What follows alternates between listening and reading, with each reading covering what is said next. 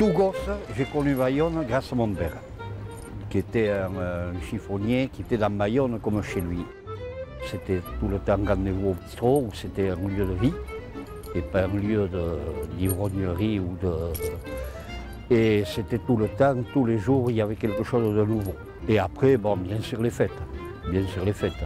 Puis le rugby et les arènes.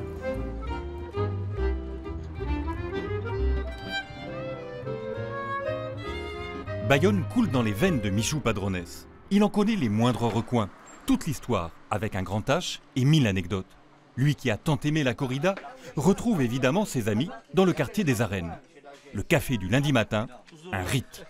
Pour remémorer par exemple cette tirade d'un ami qui, découvrant la cave de son beau-père qui ne buvait pas, apostropha ainsi les bouteilles entreposées. Et alors, quand il s'est installé chez ses beaux-parents, il est descendu à la cave et il a dit à ses bouteilles Mesdames, vous avez arrêté de vieillir. On construit le futur en se rappelant du passé et Michou est toujours la mémoire de ce qui a pu arriver à Bayonne et il, essaie, et il nous la transmet. Et on se régale à écouter toutes ces anecdotes, ces époques et plein de, de trésors cachés dans la vie bayonnaise. C'est ça qui est intéressant. Dans ces anecdotes, la plupart du temps, il est dedans. c'est ça qui est extraordinaire. C'est que les anecdotes, il y a des gens qui sont de, de- de- de très beaux conteurs, mais lui, il est plus que conteur, il est acteur.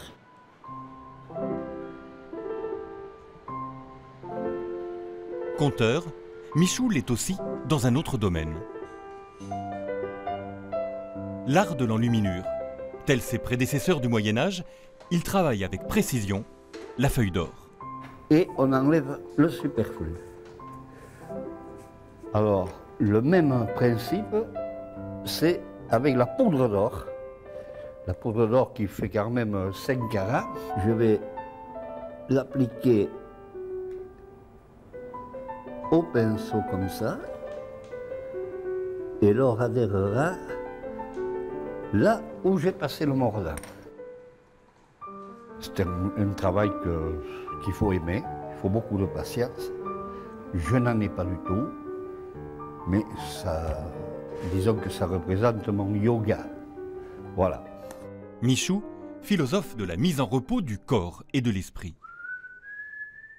Il enlumine les blasons des villages et des villes du Pays basque. Il en raconte l'histoire avec de l'or ou de l'argent et les couleurs de ses pigments naturels. Comme ses célèbres provinces basques unies. Ou encore celui consacré au bourdon de la cathédrale, de Bayonne évidemment. Alors ici, j'ai voulu représenter donc la fabrication d'une cloche dans les lettrines et surtout, bon, une chose dont on ne parle pas, que ce chemin de Saint-Jacques est passé, par Bayonne. Et alors il y avait euh, le chemin terrestre et le chemin maritime. Et ça, j'y tiens beaucoup parce que j'aimerais beaucoup qu'il finisse au musée basque. On verra.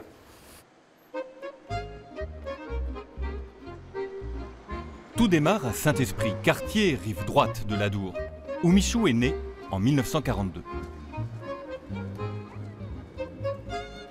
tout gosse, je venais avec mes parents, parce qu'il y avait un peu le pinch cul le- tous les dimanches après-midi, et on regardait nos parents danser. Puis plus tard, j'ai fait, avec une troupe, avec la troupe de la Vigilante, j'ai fait du théâtre dans la salle qu'il y a là. Comme son nom l'indique, le rail bayonnais fut créé sur cette colline de Saint-Esprit par les cheminots. Culture et sport pour tous les gamins. La pelote a pris son, euh, son élan, mais il y a eu des équipes de basket, il y a eu des équipes, donc je disais, de rugby, il y a euh, de l'athlétisme aussi, et bon, c'est une vie euh, qui est devenue vraiment bayonnaise, vraiment spiritoille plutôt. Et oui, car ici, avant d'être bayonnais, on est spiritoï ou spiritain. Autre lieu de mémoire pour Michou, les bords de l'Adour. Rive droite toujours. Une cale, aujourd'hui disparue, servait de piscine durant les deux heures de marée haute. Cette cale, c'était la cale des pauvres. Parce qu'il y avait une autre cale, où ça c'était la, la cale des gens, bon, des gens un peu sages. Et, ici, c'était tous les turbulents, tous les, tous les voyous. On appelait ça la voyoucratie ici. Et alors nous, on attendait les grandes équinoxes quand la baignade était fermée. Il n'y avait plus de maître nageur ni rien pour sauter du pont de, du pont de fer. Mais si on s'était fait choper à plonger de la mer, on, on aurait peut-être mort, mais rien n'était interdit à l'époque.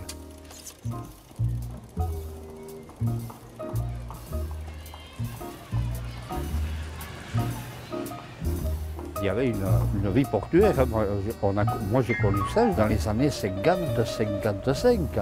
Et puis il y avait, euh, n'oublions pas, il y avait la vie de la citadelle aussi, avec les, les- militaires. Après, nous avions l'abattoir, il y avait des forges, il y avait des, il y avait des tonneliers, il y avait des, des celliers. Tous les corps de métier étaient représentés à Saint-Esprit. On n'avait pas besoin de venir à Bayonne. Voilà, c'est les Bayonnais d'ailleurs qui sont venus nous chercher. Car ce n'est qu'en 1857 que Saint-Est, comme on dit, est redevenu un quartier apagando.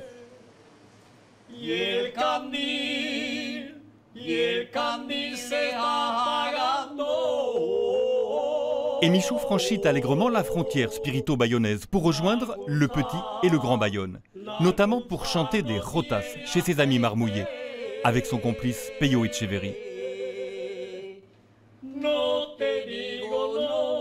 Tous deux furent membres fondateurs des mythiques chœurs Poturoac des années 70. te digo que te quieres. La alcoza, la alcoza no tiene aceite.